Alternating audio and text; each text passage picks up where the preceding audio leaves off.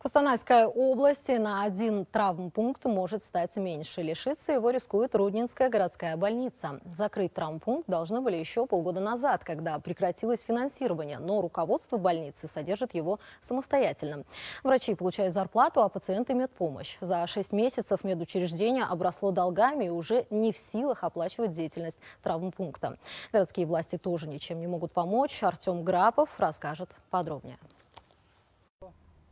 Травматологический пункт при Руднинской городской больнице работает еще с советских времен. Ежегодно здесь принимают по 13 тысяч пациентов. Это каждые сутки в среднем по 50-60 обращений. В основном мелкие травмы. На содержание травмпункта в год необходимо без малого 70 миллионов тенге. Но с января финансирование прекратилось. Тогда руководство больницы обратилось в фонд социального медстрахования с предложением увеличить сумму для приемного покоя. Допустим, в год мы э, госпитализируем 16 тысяч человек, а приемный покой обращается 32-34 тысячи.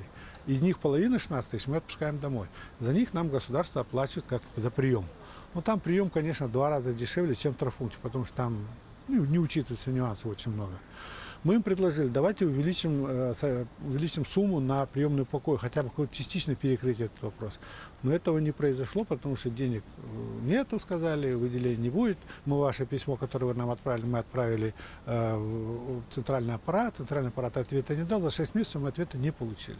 На грани закрытия травмпункт в Рудном оказался из-за приказа министра здравоохранения. Документ гласит, что в моногородах с численностью населения менее 150 тысяч человек таких мест быть не должно. К Руднинской больнице сейчас приписаны 142 тысячи пациентов. До нормы всего 8 тысяч не хватает.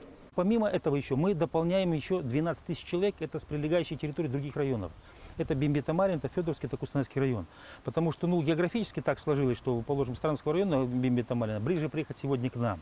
И, конечно же, мы же не можем отказать сегодня никому в этой услуге, потому что человек попал в тяжелую ситуацию, травма, это случилось в дороге, это случилось где-то, может быть, по каким-то там другим определенным обстоятельствам, но мы не можем отказать. И в этом случае мы оказываем эту услугу. А для того, чтобы оказывали эту услугу, у нас должен быть обязательный услуги условия. Это наличие травмпункта и наличие специализированных наших врачей. С учетом закрытия мы лишимся этой возможности. Аким города на ситуацию повлиять не может. Ни его уровень. Финансировать больницу из своего бюджета власти тоже не в силах. Это будет незаконно. Пока врачей один выход – передать функции травмпункта в приемный покой.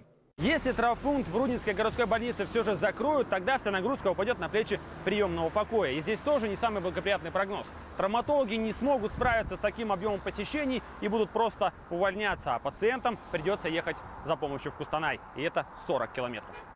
Самым правильным решением проблемы и власти Рудного, и руководства больницы называют изменение приказа Минздрава. Нужно лишь снизить численность населения до 100-120 тысяч человек. И чем быстрее, тем лучше. Артем Грапов и Сергей Трахтенберг, Кустанайская область, Хабар.